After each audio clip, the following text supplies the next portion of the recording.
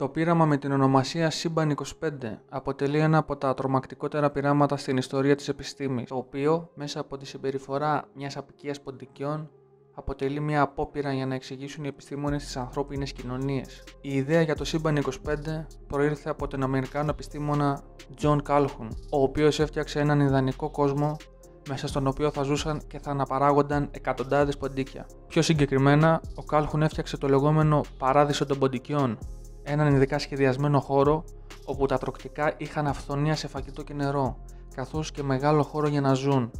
Στην αρχή τοποθέτησε τέσσερα ζευγάρια ποντικιών που σε σύντομο χρονικό διάστημα άρχισαν να αναπαράγονται, με αποτέλεσμα ο πληθυσμός τους να μεγαλώνει με ραγδαίο ρυθμό.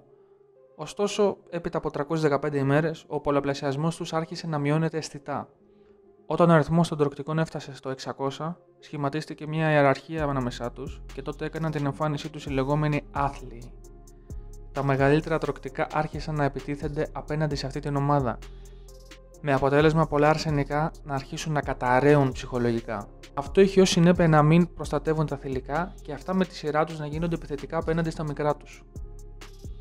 Όσο πέρναγε ο καιρός, τα θηλυκά δείχναν όλο και περισσότερο επιθετική συμπεριφορά, στοιχεία απομόνωσης και έλλειψη διάθεσης αναπαραγωγής. Παρατηρήθηκε υπογεννητικότητα και παράλληλα αύξηση θνησιμότητας στα νεότερα τροκτικά. Τότε εμφανίστηκε μια νέα κατηγορία ασθενικών τροκτικών, τα λεγόμενα όμορφα ποντίκια. Τα αρνούνταν να ζευγαρώσουν με τα θηλυκά ή να πολεμήσουν για το χώρο του. Το μόνο που τα απασχολούσε ήταν το φαγητό και ο ύπνος. Σε κάποια φάση, τα όμορφα αρσενικά και τα απομονωμένα θηλυκά αποτελούν την πλειοψηφία του πληθυσμού.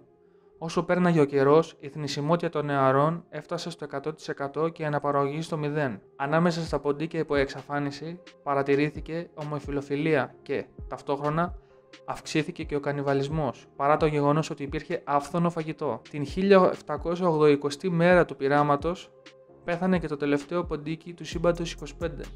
Ο Τζον Κάλχουν επανέλαβε το ίδιο πείραμα άλλες 25 φορές και κάθε φορά το αποτέλεσμα ήταν ίδιο.